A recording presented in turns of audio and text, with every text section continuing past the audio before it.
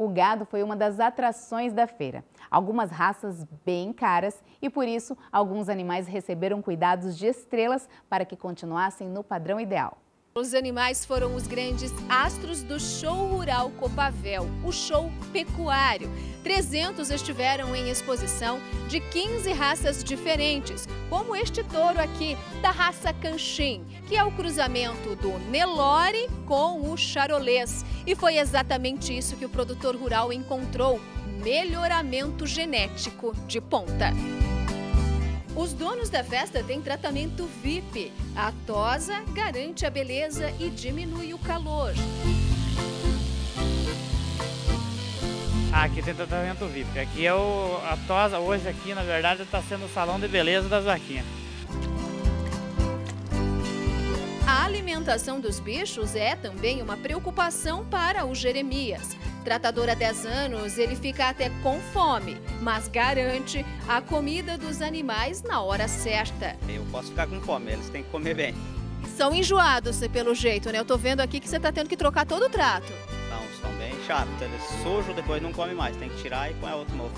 Novinho. Se tiver molhado, o trato já era. Não, molhou, sujou, já era come um pouquinho, se sujar já tem que trocar. Tanto cuidado tem explicação. Os animais representam o que há de melhor em genética.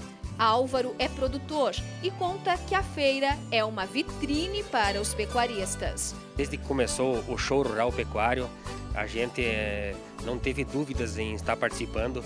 Então, desde o primeiro a gente sempre teve presente e cada vez aumentando mais o número de animais expostos e animais para venda. Temos animais que vai para o Rio de Janeiro também, né?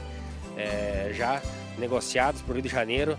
E assim, nos outros, nos outros eventos do show rural também temos vendido sempre animais para fora do Paraná. Estamos muito satisfeitos com o resultado do show rural pecuário. Além do rebanho, o produtor veio em busca de tecnologia em equipamentos. A ordenhadeira automatizada, por exemplo, agora é o mais novo sonho de consumo do seu Osmar. Essa é bem interessante, né? Porque mão de obra não tem mais, né? Daí tem que, tem que apelar com as máquinas. Né? Só falta grana agora para investir. É, só falta grana. Esse agora, é o mais difícil, né? Agora o senhor vai se acertar com o rapaz aqui.